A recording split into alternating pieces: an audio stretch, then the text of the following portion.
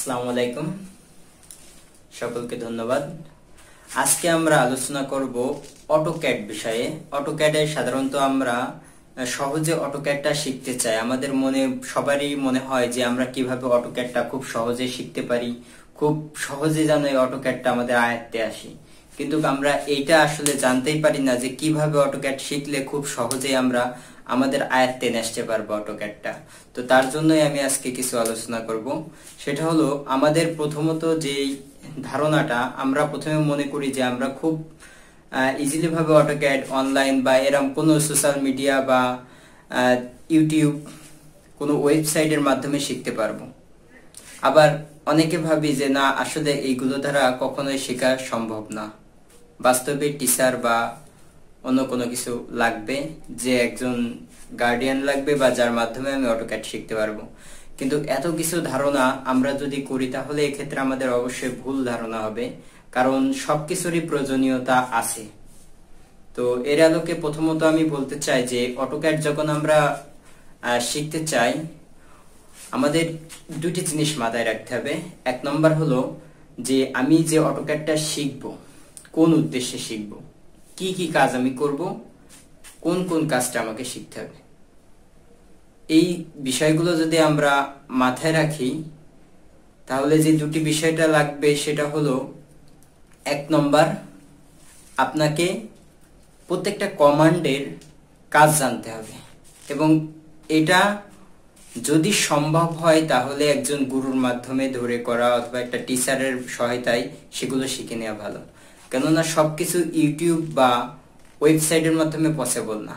কিন্তু যখন আপনার ওই কাজটাকে ডেভেলপ করতে যাবেন, অতএব ওই আপনার অটোক্যাডটা শেখা বা প্রাথমিক ধারণা পাওয়ার পরে ওটাকে আপনি ডেভেলপ করতে চাবেন সেক্ষেত্রে অবশ্যই আপনার কোনো ওয়েবসাইটের প্রয়োজন আছে। যেমন ইউটিউব বা অন্যান্য আদার সাইট যেখান থেকে আপনি ওই সম্পর্কে আরও ডিটেলস ধারণা নিতে পারবেন। তো এইটা সবচেয়ে বেটার পদ্ধতি, সেটা হলো যে আপনি প্রথমত ওই কমান্ডগুলোর কাজ শিখবেন। কমান্ডগুলোর কাজ শেখার পরবর্তীতে আপনি ওই কমান্ডের যাবতীয় ধরন বা আরও হার্ড ওয়ার্ক বা আরও অ্যাডিশনাল কোনো কিছু যদি শিখতে চান, সেক্ষেত্রে আপনি যেই বিষয়ে শিখতে চান, সেই বিষয়ে ইউটিউবে সার্চ দিতে পারেন বা ওয়েবসাইটে গুগলে সার্চ দিয়ে সেই বিষয়ে আপনি আরও জানতে পারেন।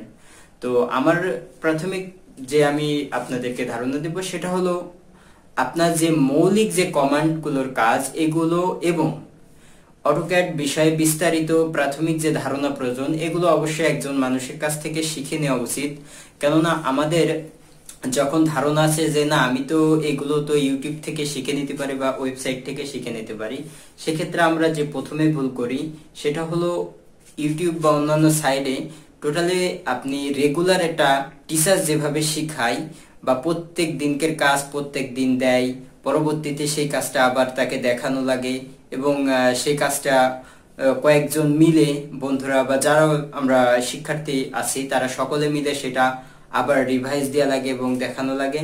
এই যে একটা দায়িত্ব, এই দায়িত্বটা থাকে না যখন আমরা ইউটিউব বা অন্যান্য সাইট থেকে শিখি। কিন্তু যখন কোনো টিচারের মাধ্যমে শিখি, সেক্ষেত্রে কিন্তু একটা দায়িত্ব আমাদের কাছে চলে আসে।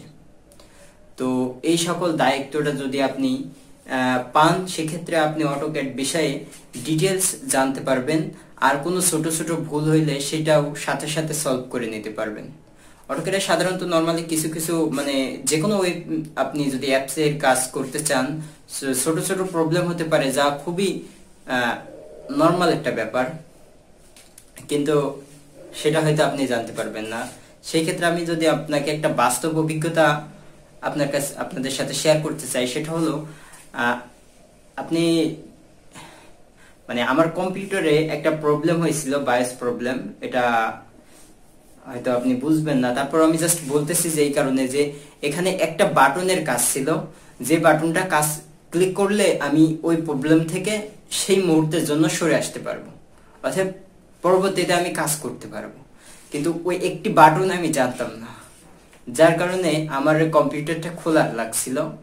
এমনকি আমি যে কম্পিউটারের দোকানে গেছি, সেই দোকানদারও ওই বিষয়ে কোনো ধারণা ছিল না যে আসলে এটা সলভ কি বা কি সলিউশন তো পরবর্তীতে কম্পিউটার খুলে আবার সবকিছু ওয়াশ করে তারপরে আবার নতুন করে করা হয়েছে। তো পর এর পরবর্তীতে যখন দ্বিতীয়বার আবার ওই একই প্রবলেম হলো, তখন আমি একটু নিজের কাছে ভয় পেয়ে গেলাম যে কি করা যায়। তখন আস্তে আস্তে নিজেই টিপতে টিপতে ওই বাটনটা আমার কাছে চলে আসলো। তার পরবর্তীতে এটা ঠিক হয়ে গেল। দেখুন, একটা ছোট প্রবলেমের জন্য কিন্তু এত দূরত্ব, এত ঘোরাঘুরি করতে হয়েছে। সো আপনার একটা প্রবলেমের জন্য যে আপনি ঘুরবেন না, এটার কি মানে আছে? তো কাজে সেইভাবে অবশ্যই দেখা উচিত যে আমরা কোনভাবে কাজ করছি বা কি করছি এই বিষয়ে মৌলিক ধারণা যদি কোনো ব্যক্তির কাছ থেকে পাওয়া যায়, তাহলে আমাদের জন্য সেটা অনেক অনেক ভালো হয়।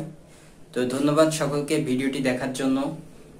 আর অবশ্যই অবশ্যই এই দুইটি জিনিস মাথায় রাখবেন যে আপনি অটোক্যাড শিখতে গেলে অবশ্যই একজন শিক্ষকের শরণাপন্ন হবেন এবং পরবর্তীতে ওইটে অ্যাডিশন এবং আপগ্রেড করার জন্য ইউটিউব বা সোশ্যাল মিডিয়ার সাহায্য নিতে পারেন। তো এইভাবে যদি শিখেন, সেক্ষেত্রে আপনি অটোক্যাড সম্পর্কে বিস্তারিত খুব ভালোভাবে জানতে পারবেন এবং অটোক্যাড আপনার আয়ত্তে খুবই দ্রুত চলে আসবে। কিন্তু যে কোনো একটি সাইট যদি ধরেন, সেক্ষেত্রে আপনার কাছে এটা দ্রুত হবে না। সেক্ষেত্রে আপনার কাছে এটা খুবই স্লো মোশনে আসবে এবং যদি ইন্টারনেট যাবতীয় কোনো কিছু থেকে শিখতে চান, যদি আপনি খুবই হার্ডওয়ার্ক পার্সন হয়ে থাকেন, সেক্ষেত্রে হয়তো আপনার জন্য সম্ভবপর হইতে পারে। আদারওয়াইজ এটা খুবই কঠিন। কাজেই আমি যেই সলিউশন দিলাম, আপনি দুইটা নিয়মই ফলো করবেন। এক নম্বর সেটা হলো আপনি অবশ্যই অবশ্যই আপনার টিচারের দিকে লক্ষ্য রাখবেন। দুই নম্বর টিচার যে যাবতীয় শিখাচ্ছে সেই যাবতীয় জিনিসগুলো ইন্টারনেট বা সোশ্যাল মিডিয়া থেকে আরও বেশি বেশি শিখবেন, আরও বেশি বেশি দেখবেন, চর্চা করবেন। তো ধন্যবাদ সকলকে ভিডিওটি দেখার জন্য। আসসালামু আলাইকুম আ রহমতুল্লাহ।